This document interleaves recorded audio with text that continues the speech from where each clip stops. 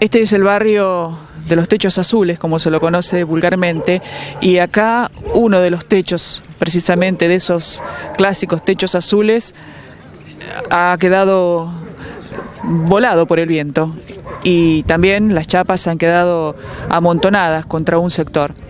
Vamos a ver quiénes son los propietarios de esta vivienda y qué nos pueden decir sobre lo que pasó.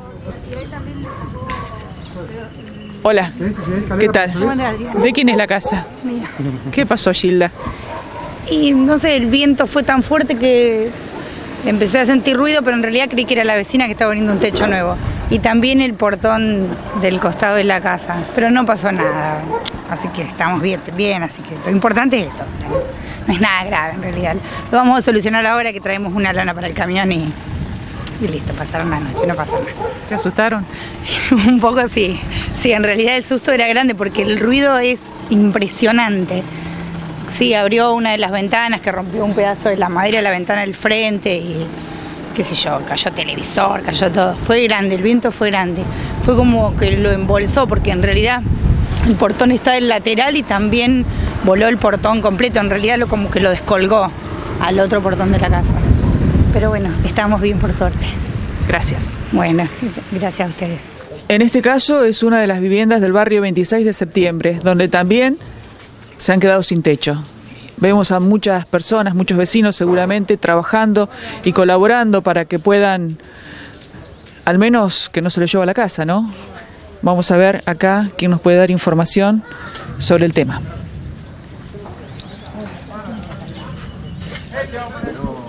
Daniel Bernaba, el presidente de la Comisión de Fomento, aquí ayudando a los vecinos. Sí, un momento horrible, la verdad, pero bueno, estamos acá, todos hemos tratado de dar una mano en lo posible. Hay varios techos más, este, ahora vamos a ir a trabajar ahí también, a poner lonas y, tratar de, de, bueno, de pasar el mal momento. Vamos a trabajar todos, nos tenemos que arremangar todo el barrio para, para dar una mano a esta gente que este, recién estuvo el intendente también, que prometió que iba a conseguir chapas y madera y los tablones, lo que necesitemos. Así que bueno, ahora hay que trabajar y lo importante es que no hubo víctimas, no hubo problemas eh, a niveles personal y bueno, fue el ¿Quedaron susto. a cielo abierto? Acá quedaron a cielo abierto, en la esquina de Urquiza y, y- y va- al 1900 este, le voló el techo completo, pero quedó por lo menos la parte de abajo, voló portones, vol- bueno, un desastre. ¿De quién es esta vivienda? Esto es Bocelari, acá eh, este, Amarante Acosta y allá eh, Gilda Ardiles. Corradi, sí. Estamos sobre la calle General Paz, frente a la planta de silos de Cargill, y así quedaron los silos precisamente, abollados increíblemente. La fuerza del viento se hizo sentir y fíjense cómo dejó estos hilos que parecen tan robustos, tan firmes, pero están con una forma extraña. Indudablemente la fuerza del viento ha sido muy, muy grande en este lugar. Barrio 25 de Mayo es la calle Escalada entre Corrientes y Cabral. Es una escena similar a la que hemos visto en muchas calles.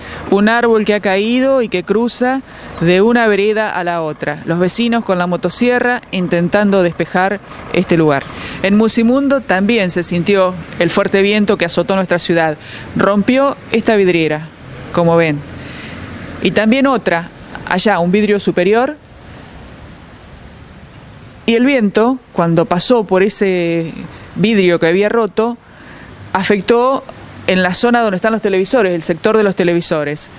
Rompió dos televisores de 50 pulgadas, los grandes televisores. Uno se rompió al caerse y el otro se rayó. Los empleados estaban aquí, en el interior, y había tres clientes, pero afortunadamente a nadie le pasó nada, solo el susto.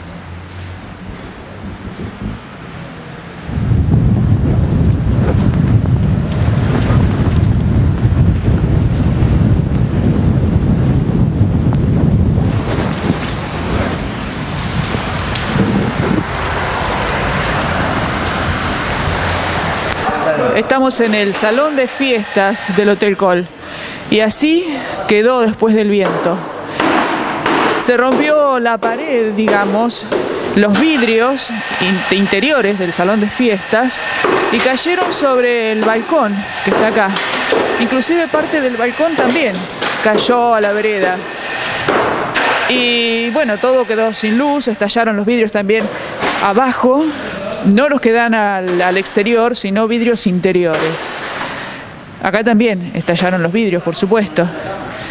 Realmente los daños que ha provocado esta tormenta son muy importantes en toda la ciudad.